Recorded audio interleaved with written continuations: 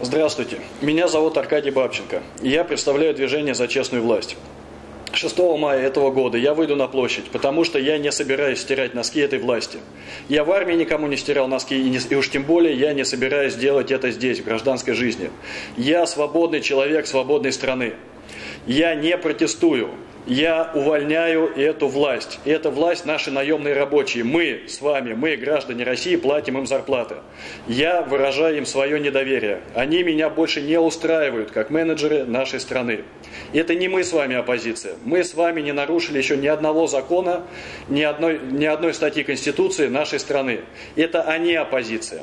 Они нарушают все мыслимые и немыслимые законы. Они нарушают все кодексы уголовные, гражданские, процессуальные и все остальные. Нарушают моральные законы, они нарушают законы человеческого общежития. Это они оппозиция, не мы оппозиция. Я хочу жить в свободной стране. Я хочу, чтобы наши дети жили в свободной стране.